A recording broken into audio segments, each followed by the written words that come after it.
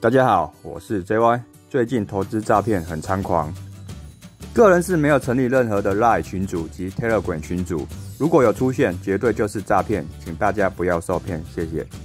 现在就进入今天的主题，今天是聊今年热门的产业公司，高成长也是高获利。是回应这位网友，想要知道公司是新兴。公司简介：新兴全名为新兴电子股份有限公司。成立于一九九零年，资本额是四十七点五亿，是台湾一家以印刷电路板 （PCB） 制造起家的电子公司，主要透过合并多家印刷电路板生产厂商的方式扩充市占率。在二零零九年合并全貌后，曾一度要升为世界第一的印刷电路板公司，现今也位居世界排名前五名。营收比重，IC 基板占百分之六十三。HDI 板占百分之二十一，PCB 占百分之十二，软板占百分之三。产品应用比重，IC 基板占百分之六十三，消费性电子产品及其他占百分之十五，电脑和笔记型电脑占百分之十六，通信占百分之六。获利能力从一九九八年上市至今二十三年，每一年都是赚钱的。获利最差的年度是在二零一六年。EPS 是只有零点零一元，在二零一三年到二零一七年是新兴的谷底，获利 EPS 是都不到一元，但谷底总是会过的，其后获利是逐年成长，到了去年二零二一年，EPS 是八点九八元，创下历史的新高，也推升今年的股价来到历史的新高两百六十一元，主要是五 G、AI 等应用快速成长。IC 窄板近年来呈现供不应求，智慧型手机、笔电及平板只受到疫情影响，需求旺盛。去年的营业收入是一千零四十六亿，是首度突破了千亿营收。营业毛利是两百三十七亿，成长百分之八十五。营业利益是一百三十二亿，成长百分之两百二十八。税后净利是一百三十二亿，成长百分之一百四十一。以上都是创下历史的新高，表现是相当亮眼。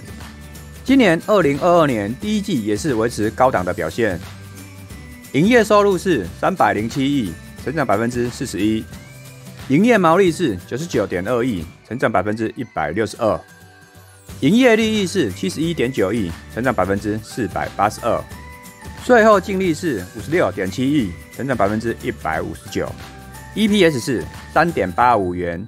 以上都是创下同期历史的新高。三利的部分，从二零一七年以后是逐年成长，到了二零二一年，毛利率是上升到百分之二十二点六三，营业利率是百分之十二点六，税后净利率是百分之十二点九三，都是创下近期的新高。各季度的三率，从二零二一年的第二季以后，也是逐季的攀高。今年二零二二年第一季的三率，毛利率是百分之三十二点三一。营业利率是百分之二十三点四一，税后净利率是百分之十九点一七，都是同期历史的新高，也使得新兴第一季的获利能如此亮眼。负债比例，新兴的负债比例是百分之六十，标准是要低于百分之五十以下。从第一季的财报上来看，负债可大致分为三个部分，分别是借款、应付账款、其他负债。借款有短期借款六十九点五亿，占百分之四。长期借款一百四十七点一亿，占百分之十。这个是新兴各项资本预算及设备采购所需要的金额。除了自有资金以外，也是向银行融资借款。另外，应付账款是一百一十七点四亿，占百分之六。其他应付账款是一百七十六点一亿，占百分之十。这个主要是购买原物料的账款及应付设备款，支付员工薪资及奖金，以及董事酬劳。其他负债主要是其他非流动负债，三百六十五点二亿，占百分之二十。里面有合约负债、租赁负债、应付代付建设款、净确定福利负债。其中合约负债占比最大，是三百二十八点七亿。这个会计项目在早期的名称叫做预收款项，近几年才改为合约负债，主要是为了跟国际会计准则 IFRS 接轨。合约负债就是企业。向客户收取价金，但偿债的方式并非还钱，而是在特定的期间内提供特定等价的商品或劳务给客户，因此可视为在手的订单，更可以看作是营收的领先指标。这个就是属于好债。可以知道，新兴的负债比例有百分之二十以上都是由好债所组成，所以可以不必担心它的高负债。鼓励政策连续二十五年配发股利，发出三十三点二八元。发出二十八次股利，合计发出三十六点三元。上市以后是至少连续配发股利零点三元以上。从二零一七年以后，股利是逐年的成长，到了今年是配发现金股利三点四元，是创下历史的新高。旧年的当年度填息几率是百分之一百，是相当不错。以五月十三日收盘价两百一十五元计算，殖利率是百分之一点六，这个部分就是比较可惜的地方了。展望未来，IC 载板产业从去年是迎来了龙井，尤其是 ABF 载板供不应求。今年的获利 EPS 是持续飙高，四月的单月营收是一百一十一点六亿，成长百分之四十一点八。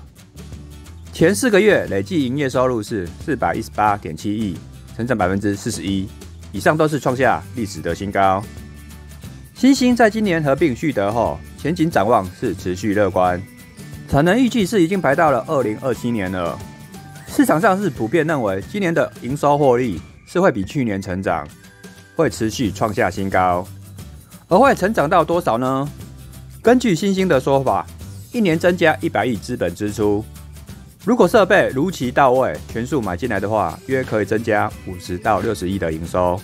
这个会是一个参考值。新兴今年的资本支出是约四百三十五亿。也就是今年的营收可以增加两百亿到两百四十亿之间，整年的营收大约就是一千两百二十五亿到一千三百亿，大约是成长百分之二十。以这个水准推估 EPS，大约就是十点八元。而外资也纷纷调高它的目标价，至于会不会达标呢？我们就平常心看待。今年股市就是受到俄乌战争、疫情、通膨及升息等因素。市场上现在目前已经出现了一波修正，高成长、高本一比的公司会不会像去年大多头一样受市场青睐呢？未来的事是没有人说得准的，而我们能做的就是找寻基期低、获利稳定、有股利保护的好公司。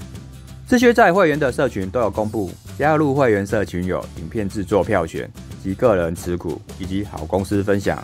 感谢会员社群长期的支持。本集影片就到这边了，谢谢你的观赏。喜欢影片也记得帮我按赞、订阅、开启小铃铛。我们下部影片见，拜拜。